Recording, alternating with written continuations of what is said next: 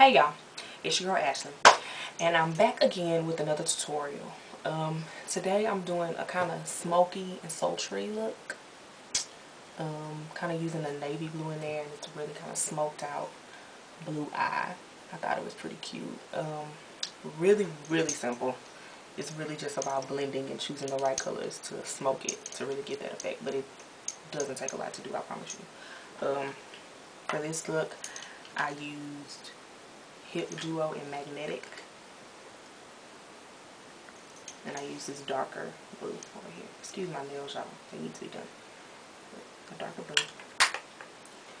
I have this Ruby Kisses Duo. That's actually kind of quite similar to this one. But the blue's a little bit lighter. And I use that lighter side as well. Just to kind of brighten it up because the one from the Hip Duo is fairly dark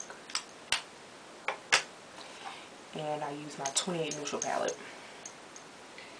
And um, you'll be able to see what colors I used in the video but use these two colors to smoke it out.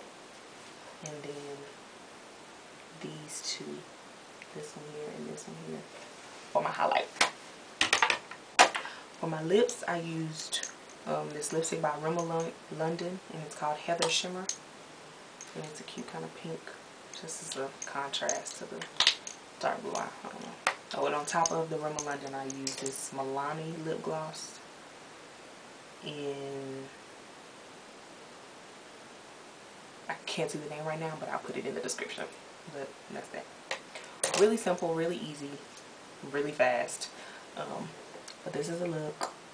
Hope you guys like it. Please rate, comment, and subscribe. And I'll see y'all the next video. Deuces. Star.